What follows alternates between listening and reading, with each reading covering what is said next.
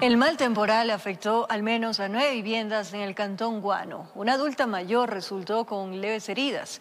Muchos de los habitantes perdieron sus enseres.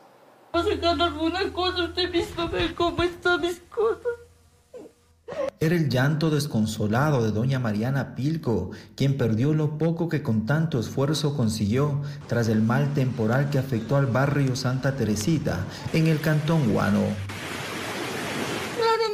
todito que mismo está desperdiciado. No tengo aquí nada, mis moliditos, mis maíces, todos hechos. Una lástima cómo está. Nueve viviendas han sido afectadas por el mal temporal. En su mayoría sus propietarios son adultos mayores. Ellos han quedado con daños psicológicos ya que cada vez que llueve enfrentan la furia de la naturaleza. Gritando, pidiendo auxilio, ¿quién cada quien en sus puestos, cada quien te haciendo de, pones palos, tablas para que no entre el agua a, la casa de ellos. Yo pobre solita como vivo, pero señor, yo vivo solita, todos mis hijos son casados.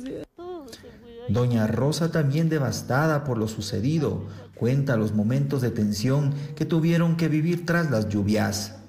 Todos vinieron a ayudar una manita, pero ya era tarde, papá lindo, ya era tarde, todo se fue en el agua, las cositas de comer, las cobijitas, mi camita está fuera.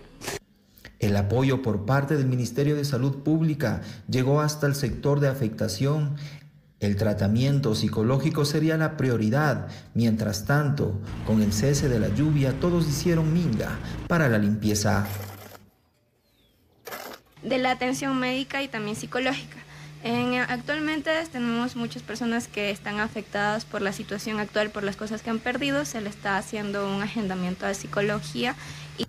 Milagrosamente no hubo víctimas mortales, a más de una adulta mayor con leves heridas. Las secuelas de años anteriores por las lluvias sin duda han calado en sus habitantes. Es por eso que el miedo persiste. Ahora piden el apoyo de las autoridades para poder recuperar lo que el agua se llevó. En Chimborazo informó